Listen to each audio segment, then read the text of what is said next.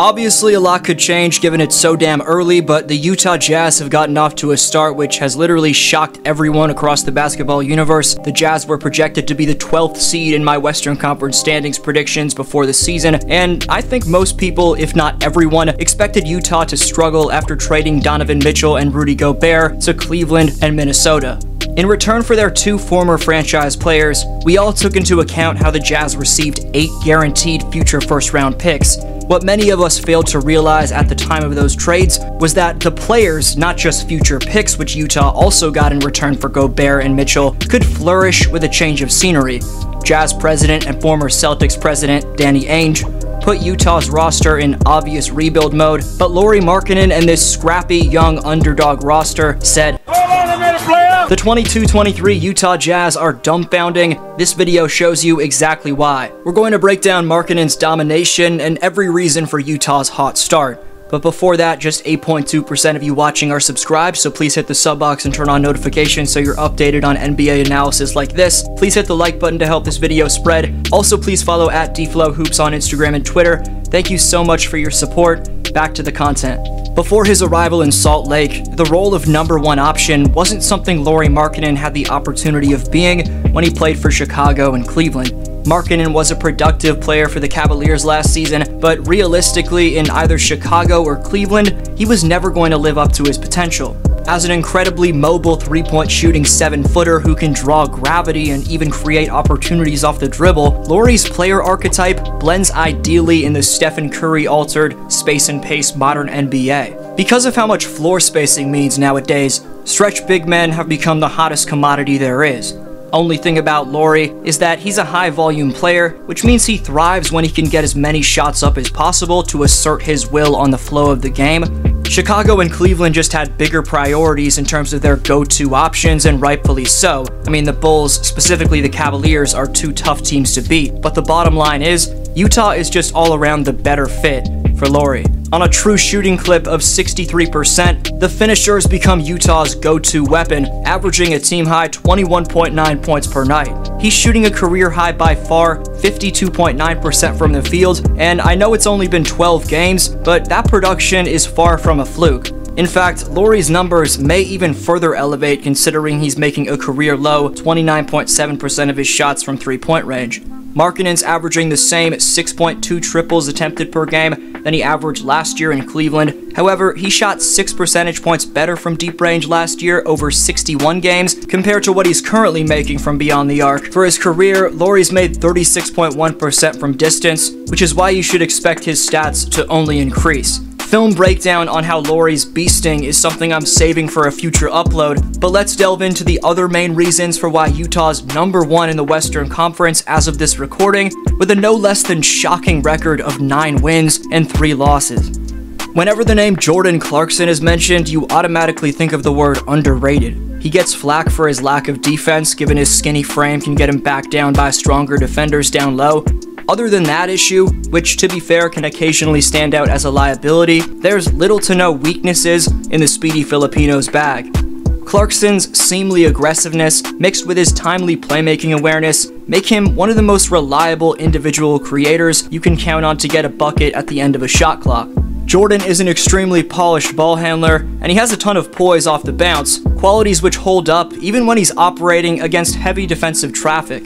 Clarkson has a pristine ability to get to his spot with that tight handle and has the ability to fluidly transition from the dribble to jump shot elusively yet effectively before defenses have the chance to properly contest. Leaving him slightly open may even be the more effective strategy than clamping him for defenders, considering Jordan's making 28.6% of his threes when given 4 to 6 feet of space and 46.7% with just 2 to 4 feet. He's also making 66.7% of his threes with defenders 0 to 2 feet away from him. However, don't leave Clarkson too wide open as he does make 54.1% of his deep range bombs with 6 plus feet of space.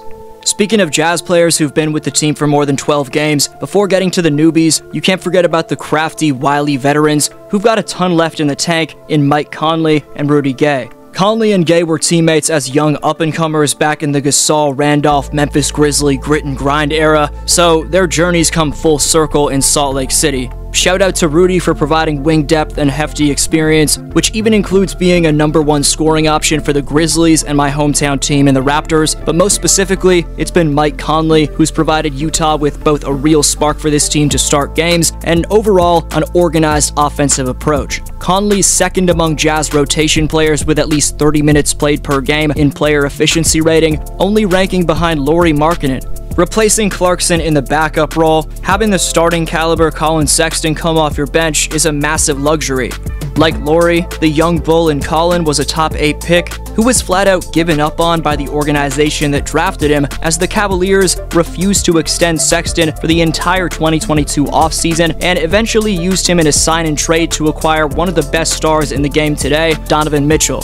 Sexton may not be a star quite yet, but I think there's certainly a universe where he's an all-star in the future, if he can avoid injury, of course. The good thing is, there's no pressure in the slightest bit for Collin to be that type of player in Utah. All he needs to be is the microwave for this team off the pine. Operating in the role as sixth man has worked perfectly so far for Collin, especially in November, where his numbers are off the charts. This month so far has seen Sexton average 18.8 points on 61.2% true shooting. He's hitting 38% from downtown, attempting 4.5 triples per game. When Sexton finds his flow, bench backcourt players simply can't keep up with the 23 year old's ability to mix up his attacks. Despite being let go by Cleveland, the offensive electricity of Collin Sexton gives him a chance to take this sixth man role given to him by coach Will Hardy and use it to develop into one of the better combo guards on the planet. There's still a long way to go for Collin, but whatever he's doing early in this month, he needs to keep it up.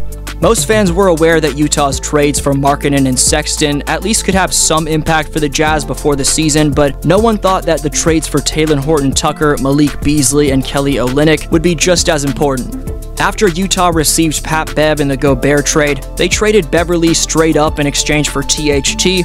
In one game, Horton Tucker just single-handedly proved to the bottom-feeding Los Angeles Lakers that they shouldn't have gave up on him. Against his former team, Horton Tucker dropped a personal season high 15 points and shot 6 for 11 from the field off the bench. Horton Tucker's length and toughness defensively is what he makes a living off, as despite playing no more than 25.2 minutes per night over his four career seasons, he's averaged a steal per game in every year. To be clear, I could spend much more time breaking down these next few impact players, but they deserve mentions. Having said that, it's good to see Malik Beasley in a good state of mind, as the 25 year old Florida State product is a streaky, yet at times super effective, pure shot creator. Beasley isn't known for his defense, but seems to always have solid positioning and activity on that end. Malik's just another young, athletic, and active two way talent who's shooting around 40% from three point range for Utah. Like Jordan Clarkson, former Detroit Piston Kelly Olynyk is extremely underrated, as Olynyk's currently the second most efficient three point shooter in the NBA, only behind Dallas's Josh Green. Kelly's making 58.8% of his shots from deep on a decent volume of 2.8 triples attempted per night. Like this team's number one guy in Markkanen, Olynyk's thrived in this floor spacing based era.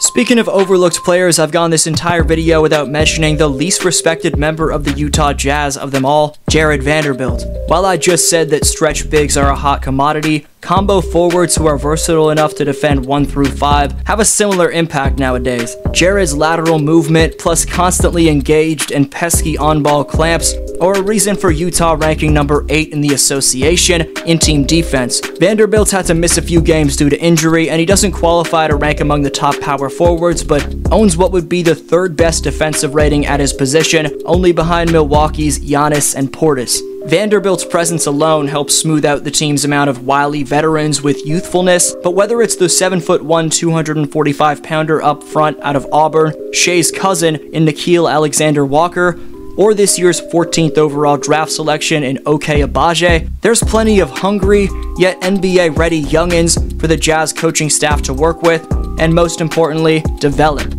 The Jazz are now set up tremendously well for both the present and the future, making them this year's Cinderella team in the early going. Who's most underrated on the Utah Jazz? Best answer down below in the comments gets next video shout out, and the top 5 commenters by December 21st earn free merchandise of their choosing. Today's Speaks winner is Jerron, who says the most underrated part about Luka is that he can't be stopped by different defensive schemes or zones because he's able to score or create an open shot for his teammate every time, and that makes him unguardable. Great take there from Jaren. Anyways, thanks for watching.